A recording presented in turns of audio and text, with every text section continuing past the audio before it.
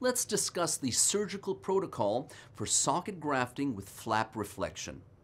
A vertical incision is performed approximately 5 millimeters from the extracted tooth.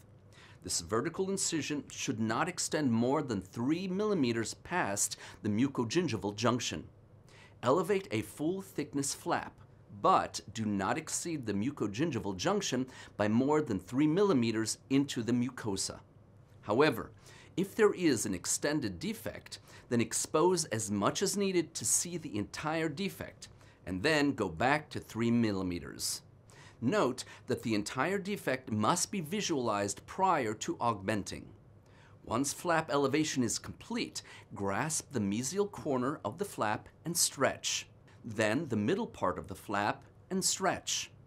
Followed by the distal part of the flap and stretch. The syringe contains a saline chamber, the graft powder, shaft, two pistons, the indicator line, and a cap.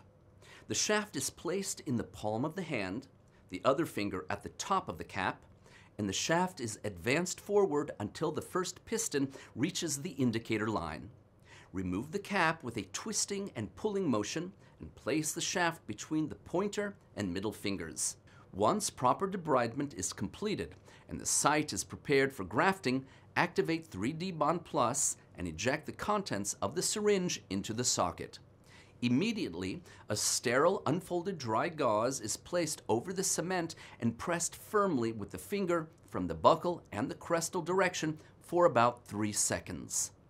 It's extremely important that the 3D Bond Plus cement is well compacted in all three-dimensional aspects, including the cervical and apex zone. After pressing with the finger, use the periosteal elevator in order to continue with the compaction of the graft for an additional few seconds. Again, from the buccal and crestal directions. Once compaction of the graft is done, remove the gauze and proceed with soft tissue closure by stretching the mesial corner and securing it with the suture.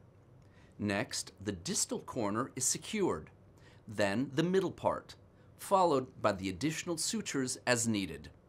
The vertical incision should be sutured last.